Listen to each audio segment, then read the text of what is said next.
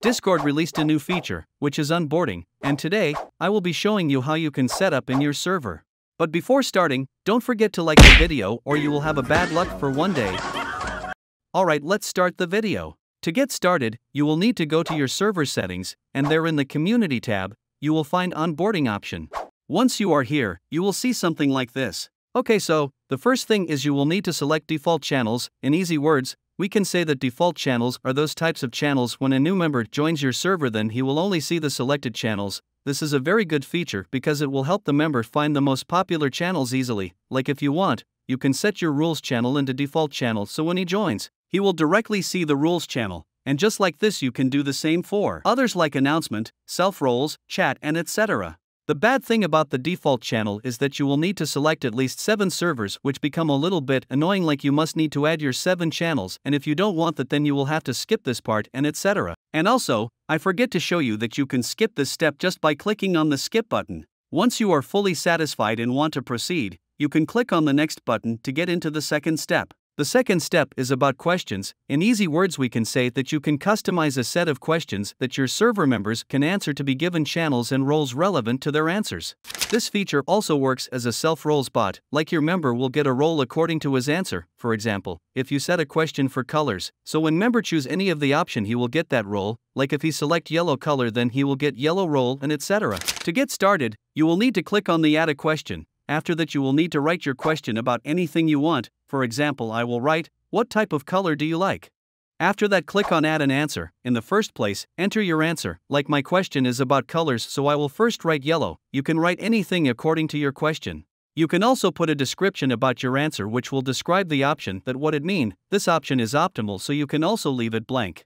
In the second step, you will need to add a channel and role, as my question is about only colors, so I will not select any channel, but if you have other questions like you want to give them events role then you can select the channel also, but here I will only select the yellow role. You can give any number of roles, I will only give one role. The next thing which you can do is to add emojis, this option is also optimal so if you want you can add and if you don't want then don't add the emoji. Once you are fully satisfied, simply click on Save button and done, your first option for the question is completed. Now you can use the same process to add more options like, option for red color, blue color and green color.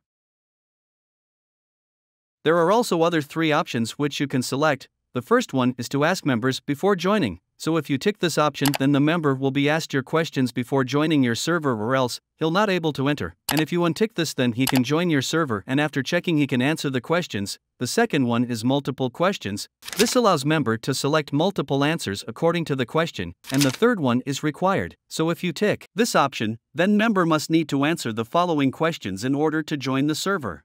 Okay guys, so this was all about the question step. Now you can do the same process to create different types of questions and create answers according to them. Once you are ready, simply click on the next button, and now it's the final step where you will need to enable the onboarding option on your server. If you meet the requirements then simply click on enable onboarding and you are done. Now whenever someone join your server, First, he will be asked some questions, and after that, he will see the default channels only if you have selected any. To see a preview of your server, you can click on the preview text, and it will join you as a new member to your server where you can test this option if it's working fine or not. So you can see there are total of three questions, in which the first one is about colors, and it have four options in which the member will have to select any one of them or if you have enabled multiples answers then he can select more than one. Bruh.